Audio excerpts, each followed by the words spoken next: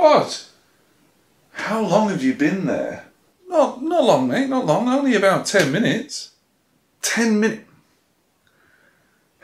Were you, were you trying to scare me? Not at all, man. I saw you pondering over something and I thought I'd pop over and see if I could lend a hand. Oh, uh, alright. I'm, I'm just doing this uh, maths problem and I've had to work out the area of the triangle. Alright, yeah, cool, cool.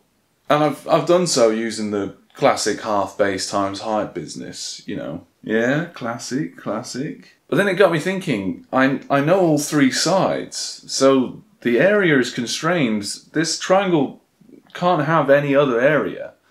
So there must be a formula that I could use that I wouldn't have to work out the height of the triangle, you know? Well, there is, mate. Heron's formula, mate. Heron's formula. All right, okay. So, so what's that? What's that then? Well, it looks a little something like this, where S is half the perimeter. I can show you how it's derived if you like. Yeah, go on. I'm, I'm intrigued. I'm assuming Pythagoras comes into it somewhere. Yeah, mate, there's several ways in which you can derive it, but since you've mentioned Pythagoras, we'll start there.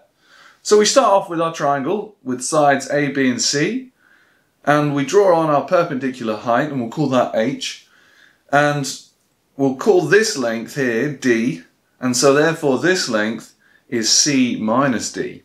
Now, we've got two unknowns here, h and d, and so we're going to need two equations in order to solve for them. And this is where Pythagoras comes in. Now, using Pythagoras' theorem, we get these two equations, and we can eliminate the variable h by taking them away from one another to get this new equation, which, when made to make d the subject, looks like this. We can now use this to substitute back into h squared is equal to b squared minus d squared, and after this, it's just manipulating algebra, and the difference of squares rule pops up a couple of times too. So let's get these over the same denominator, and immediately we can whip out the difference of squares rule. Now we can simplify this a little and whip out the difference of squares rule again. Now let's bring the semi-perimeter term s back in, since all these brackets could be represented with it somehow, which brings us to this neat looking equation for h. Now all that's left is to put it into that trusty old equation, half base times height, and there we have it folks. Heron's formula.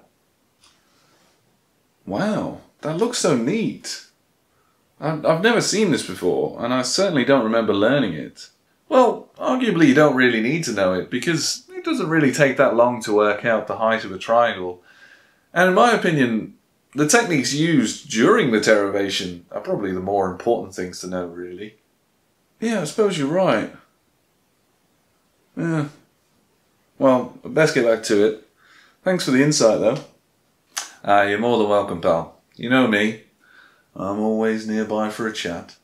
Yep, I know all too well, my friend. All too well. Hi guys, thanks very much for watching. I hope you enjoyed the video.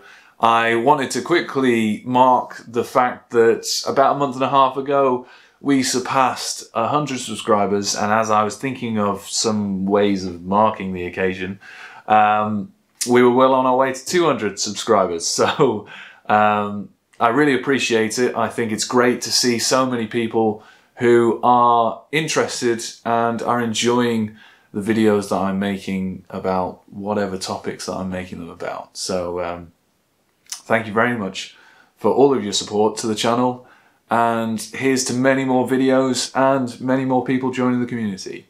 Thanks again guys, I will see you all in the next video. Bye bye.